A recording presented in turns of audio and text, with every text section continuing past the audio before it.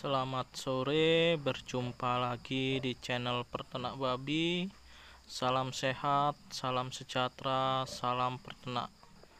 Di video kali ini saya akan berbagi mengenai indukan babi ya.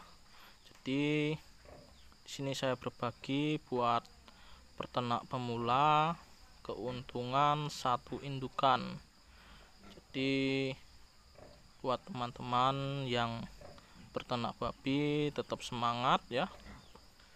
Jadi ini anakan babi saya satu ekor itu beranak 10 anak babi ya teman-teman ya. Jadi ini udah usia 25 hari. 10 ekor sudah bisa makan. Dan setiap harinya saya kasih dedaunan seperti daun bayeman atau rumput bayeman ya teman-teman ya. Daun singkong daun pepaya dan daun lain-lainnya.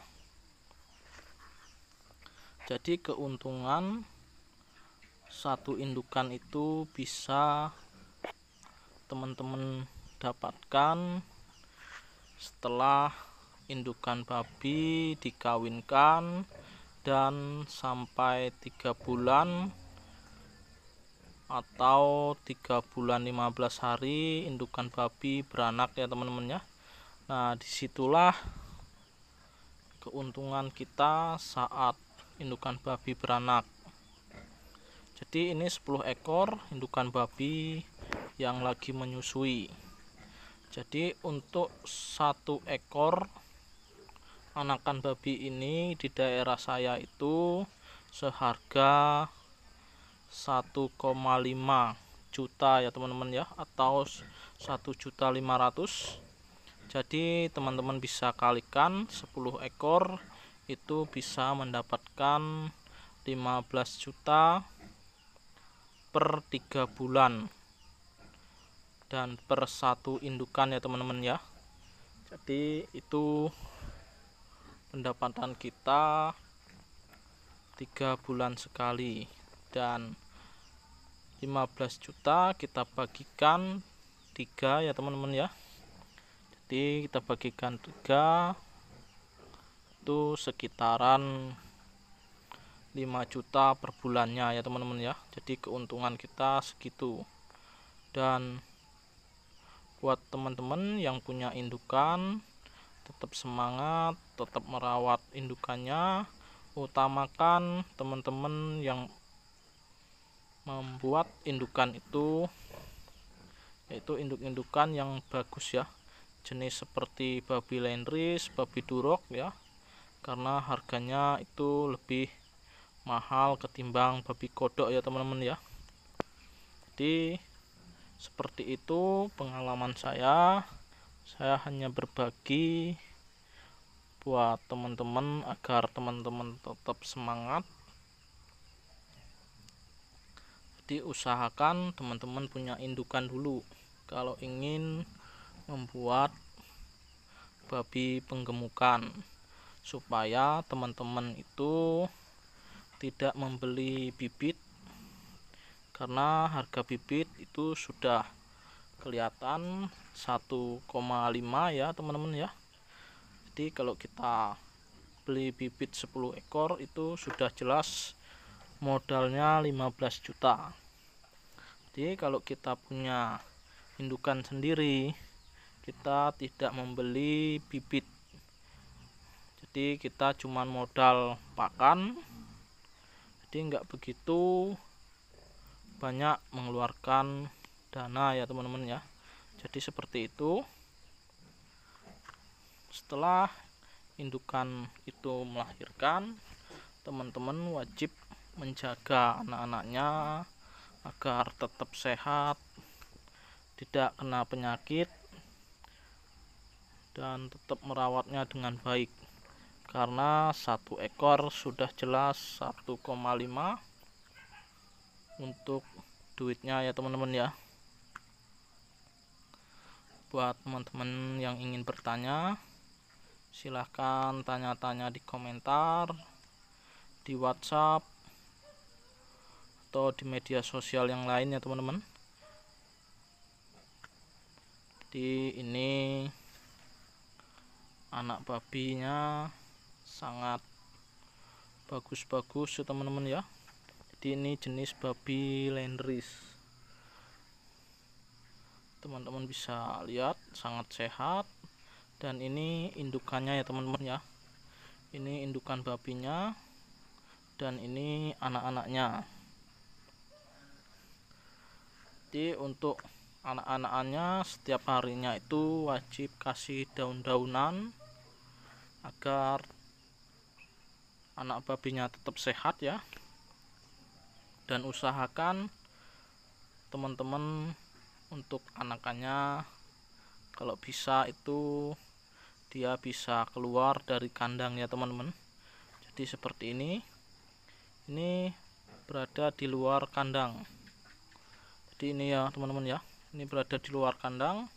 Jadi pagi sore itu anak babi bisa berkeliaran di luar ya supaya otot-ototnya itu bisa lancar darahnya bisa lancar. Jadi seperti ini nih. Ini kan indukannya di dalam. Indukan babi wajib dikasih makan satu kali satu hari tiga kali ya. Jadi satu hari tiga kali. Dan ini anakan babinya. Ini berada di luar ya teman-teman ya. Ini di tanah ini teman-teman. Supaya anak babinya sehat dan ini tempat pembakaran di malam hari ya teman-teman dan ini pintu sengaja saya buka seperti ini agar anak babinya itu bisa keluar. Namun indukannya tetap di, di dalam ya. Dan ini sudah mulai belajar makan ini teman-teman. Sudah bisa makan lah. Ini baru berumur 25 hari ya. Ini belajar makan sama indukannya pakan basah ya teman-teman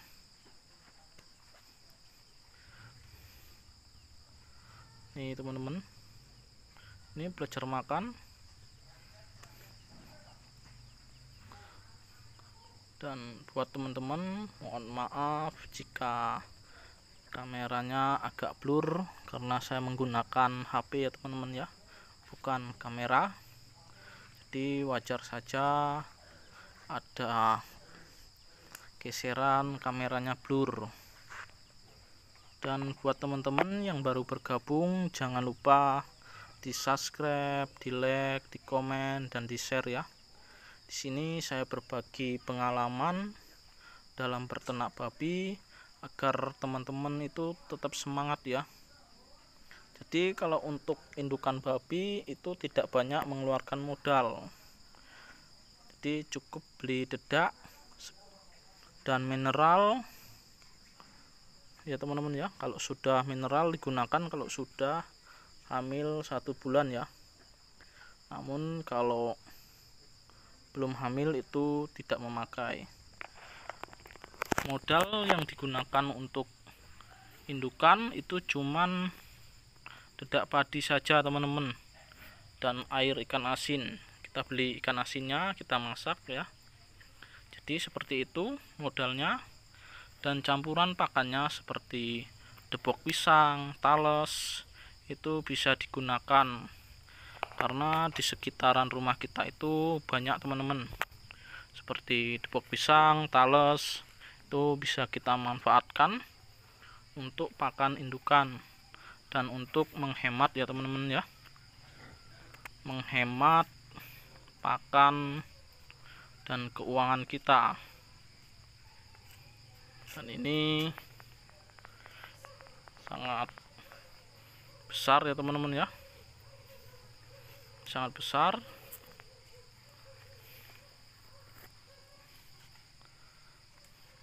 Ini sangat jinak teman-teman karena sering saya lus ya. Ini padat ini. Ini saya potong ekor itu di umur 24 hari 23 hari dan sekaligus saya kebiri teman-teman. Ini sudah saya potong. Sudah potong ekor ya teman-teman ya.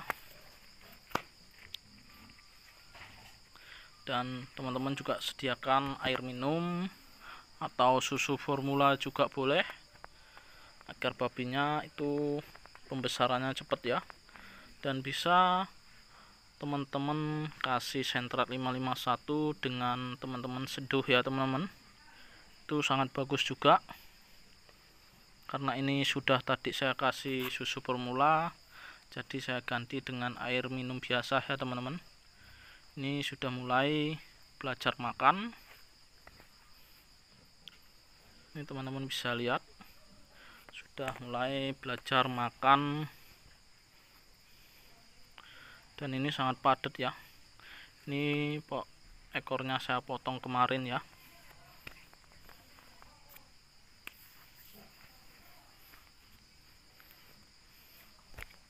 Sangat gemuk. Dan itu dedaunnya dedaun-dedaun yang setiap hari saya kasih ya teman-teman.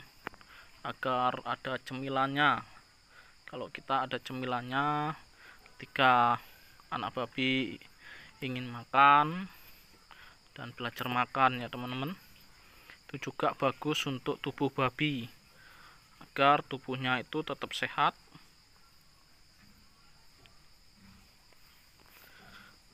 Dan ini berada di luar kandang ya. Jadi saya pagar keliling dengan jaring ya teman-teman ya.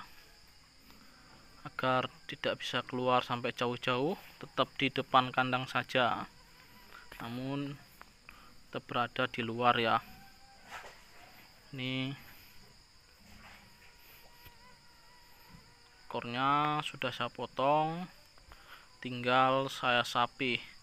Jadi saya sapi itu di umur 50 sampai 60 hari ya teman-teman. Karena di umur-umur segitulah yang bagus untuk sapi anak-anak babi ya. Jadi jangan terlalu kecil kita sapi itu sangat kasihan itu rawan. Dan demikian video dari peternak babi. Salam sehat salam sejahtera salam pertenak